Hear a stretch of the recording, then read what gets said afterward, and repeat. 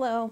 Today I want to talk to you about metering, specifically metering with our film cameras, how we can use it as a tool to get the picture that we're actually trying to get.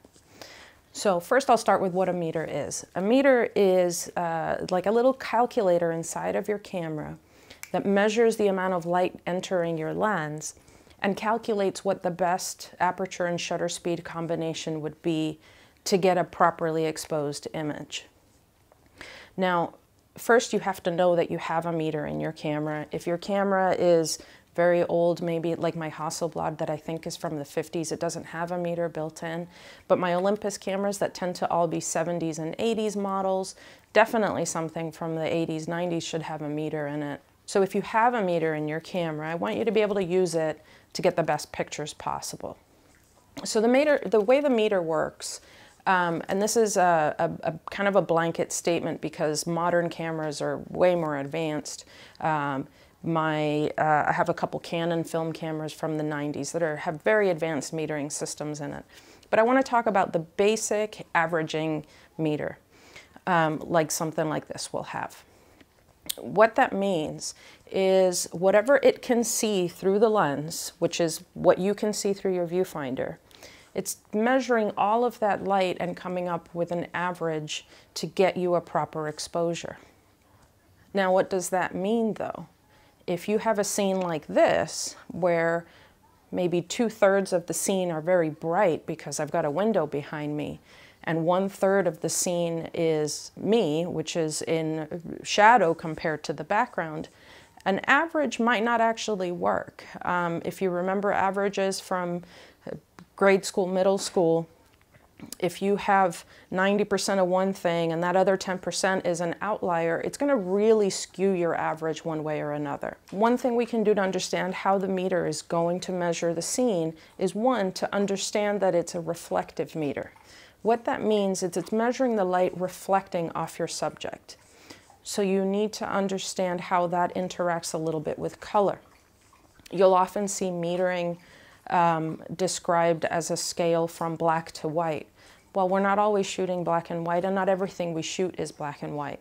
The reason we use that black to white scale is to remind us that black is black because it absorbs light, white is white because it reflects it.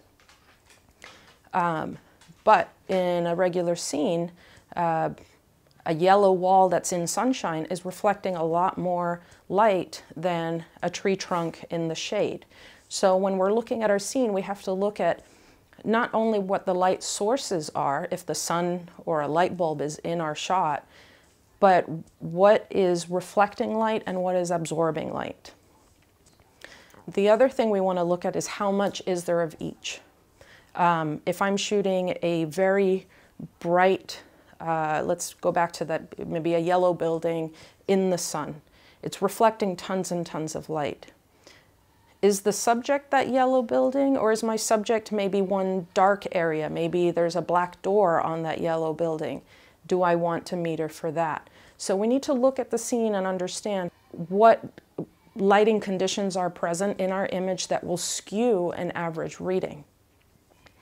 So what the meter looks like in your camera, some cameras have more like a ruler across the bottom, across the side with a zero setting or a correct setting and then maybe plus or minus for the too dark, too bright uh, kind of settings. Um, some just have a needle that points right at what the correct shutter speed or aperture should be.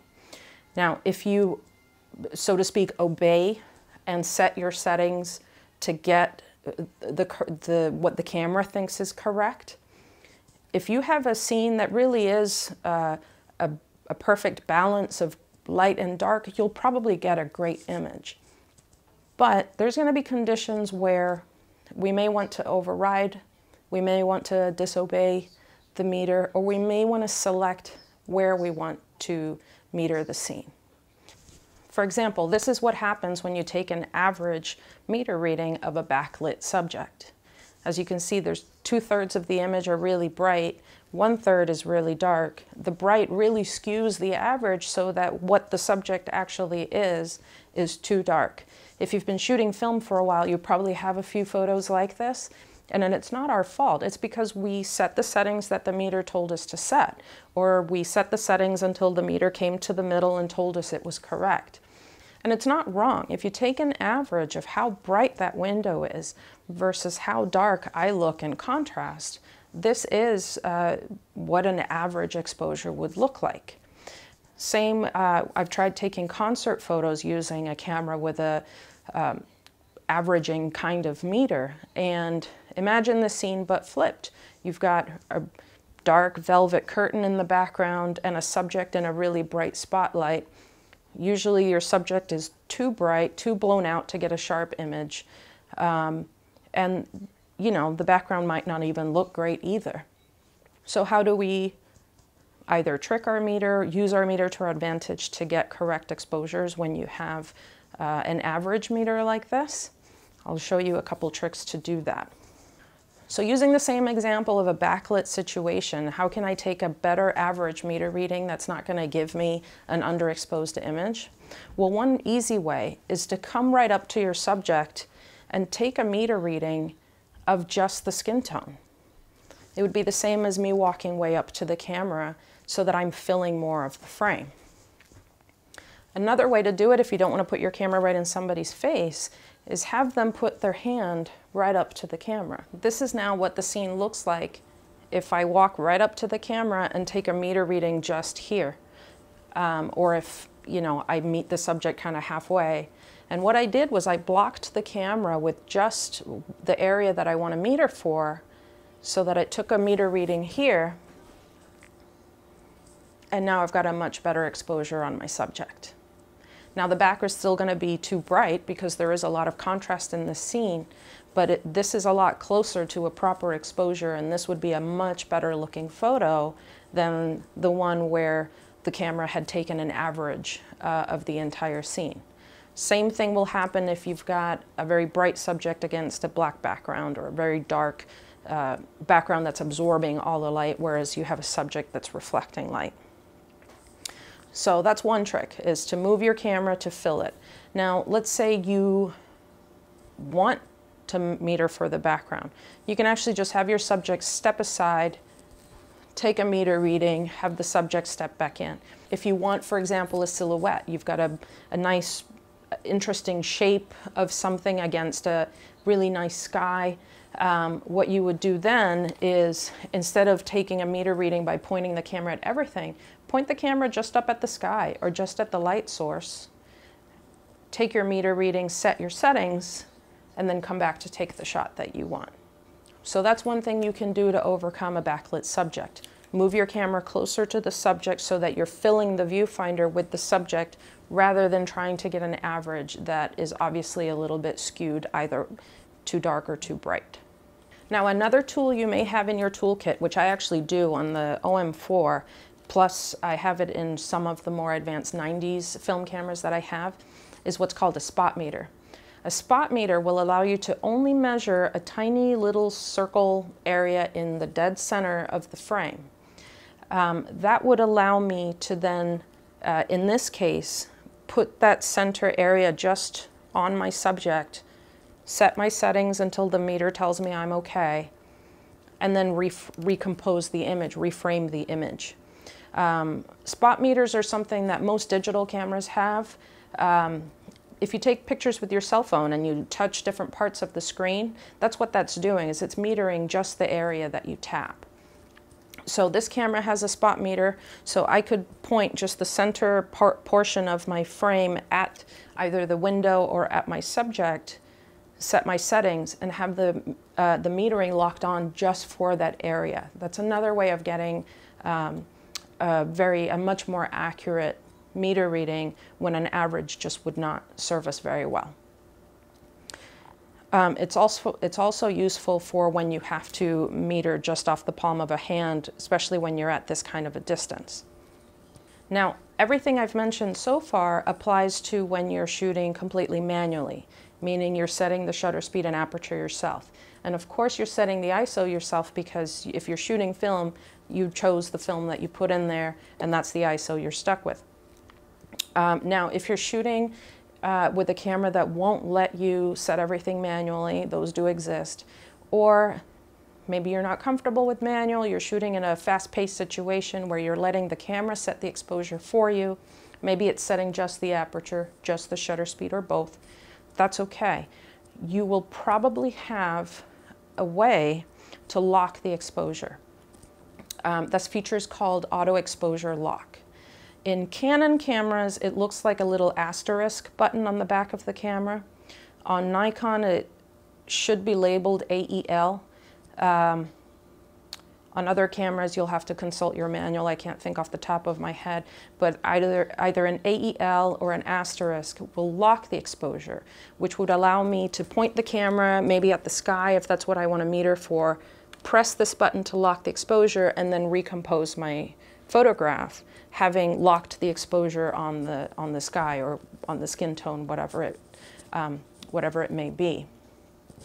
So you have spot meters, you have auto exposure lock, and you have just the simple fill the frame with what you want to have properly exposed, and you'll get great shots. Another tool you have, and this may be a camera setting where it'll do the work for you, or you can just do it yourself, is what's called bracketing. If you don't want to fuss with what area, if you just want to take the shot, um, does require a little bit more time. But take a shot with the meter telling you you're correct, and then take one that tells you you're a little overexposed. Take another one where it tells you you're a little underexposed, and at least then you have three pictures to choose from in case one or two of them are too bright, too dark. Some people will go uh, further and maybe even bracket five images, um, you know, dark, darker, bright, brighter, and one properly exposed or what the camera thinks is properly exposed. Um, that's called bracketing. Some cameras, like I said, will, will have a mode for bracketing and you just tell it how many frames you want, how far apart, a stop apart, two stops apart. Um, but the simple way to do it is just to follow your meter. Shoot one, you know, depending on whether your meter looks like a ruler or a needle, shoot one that says it's correct and then shoot a couple that are incorrect, just to give yourself a little bit of room for error.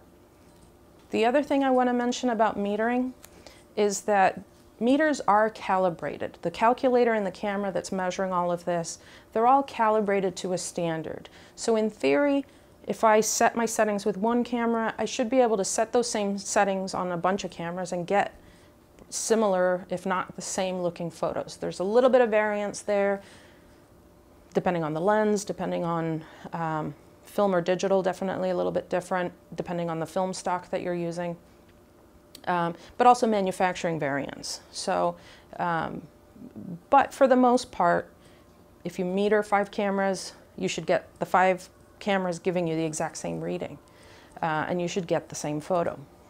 The way they're calibrated, though, is for what's called a middle gray. You may have heard middle gray, 18% gray. That's the calibration setting for these meters.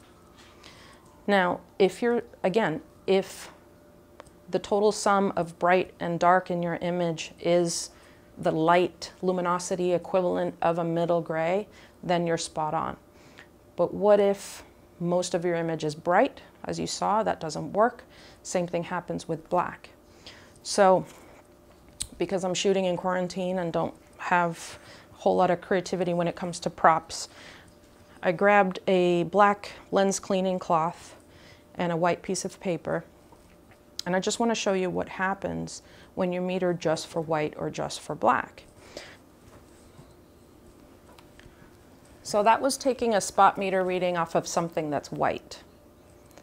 Notice that the white actually doesn't look very white. It's a little bit dingy, it's a little gray. That's because the meter is calibrated for gray and it will make it gray. So imagine it's not a piece of paper, but a nice snowy scene. Yeah, maybe you're up at Tahoe and you take a meter reading off of the snow. You're gonna get pretty dark, dingy pictures. So metering off of white is one of the situations where you would want to actually disobey the meter and intentionally overexpose it. Otherwise your, your whites will look gray. Similar thing happens if I take a spot meter reading off of something that's black. This is a black um, microfiber, so it's very absorbent of light. It's not reflective at all. But look at how overexposed this scene is. My black t-shirt doesn't look black anymore. The black cloth doesn't look black anymore. It looks gray. So if you're trying to take a picture of something that's a majority black or that is black, you're not going to get black unless you, again, disobey the meter, take it to the negative side, and intentionally underexpose the scene. This is why black and white, or something the reflectivity equivalent, so maybe instead of white, we're talking about a silver car that's very reflective. Or maybe instead of black, we're talking about a brown leather jacket that has the equivalent uh, light absorption or light reflection property. You're not going to get a very good meter reading. That's when you'll want to specifically meter uh, a skin tone or something that, something that is the color and reflectivity equivalent of middle gray, not white, not black. Um, this is why if you've ever heard of a gray card, this is great. A gray card is uh, sometimes a literal piece of cardboard, but it's already been coated in a middle gray that is absorbing and reflecting a middle tone so that if you have nothing in the scene, if your scene is so many different light sources and colors that you don't really know where the middle gray is, but you know that you've got to nail the exposure. You would hold up, just like I held up the white piece of paper and the black um, cleaning cloth, you could hold up a gray card to your camera, take your meter reading off of it, um, meaning you point it at the camera, set your settings until it gives you a proper reading, you would get a great exposure because that is the gray that your meter is actually calibrated for. Now most cameras, as soon as you point it, the meter already starts working. You set your settings until the needle goes wherever you need it to go. Some cameras do operate the meter by pressing halfway down first. So if you're using, especially electronic cameras, so if you're pointing it around and you're not seeing that uh, meter, ruler looking thing, or the needle, whatever you may have, if you're not seeing it move, give your shutter release a halfway down press and you should see it start to react. Um, if it's not reacting even then, then maybe you've got to check your batteries or something like that. But for the most part, your meter should start working as soon as you start pointing it at different light sources or light conditions.